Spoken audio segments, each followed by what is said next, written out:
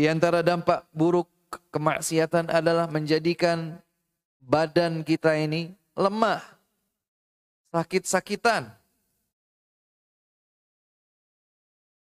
Ustadz ada orang baik tapi sakit-sakitan. Pak Ustadz bahkan sakitnya serius Ustadz. Cancer.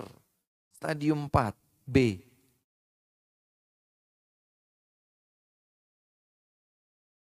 Berbeda maksudnya. Karena dahulu Nabi Shallallahu Alaihi Wasallam itu sakit dan sakitnya Nabi bahkan dua kali lipat. Abdullah bin Abbas radhiyallahu anhuma di akhir-akhir hayat Nabi pegang badan Nabi padahal beliau sedang pakai selimut. Masya Allah, panas. Ya Rasulullah, wallahi innaka latu'aku wa'kan syadida. Rasul demi Allah, kau ini demamnya demam tinggi banget ini. Kata Nabi SAW, Naam. Nahnu ma'syaral anbiya. Iya, kami ini segenap para nabi diuji oleh Allah Subhanahu wa taala dengan sakit dua kali lipat. Kalau dua kali lipat itu artinya kita misalnya demam 41 derajat Celcius, kalau para nabi sampai 82.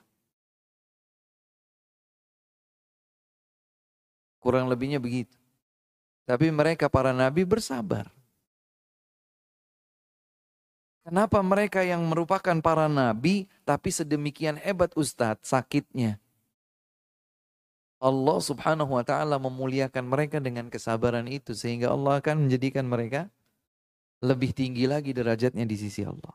Sementara yang bukan nabi, yang bukan rasul, bahkan para pelaku maksiat dibikin mereka itu menderita, badannya lemah, sakit-sakitan. Ini juga bukan berarti kalau tanpa menjaga kesehatan pokoknya tetap sehat yang penting saya soleh. Enggak juga gitu.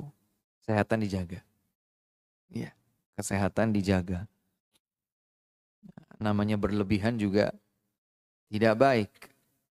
Nah, kata Pak Ustadz yang penting saya soleh, insya Allah sehat. Akhirnya makan mie ayam, sambelnya lima sendoknya. Ya enggak gitu juga. Jaga kesehatan, jaga kesehatan. Tapi maksudnya adalah bahwa kemaksiatan itu dapat menjadikan lemahnya hati, ringkihnya badan. Ringkihnya badan.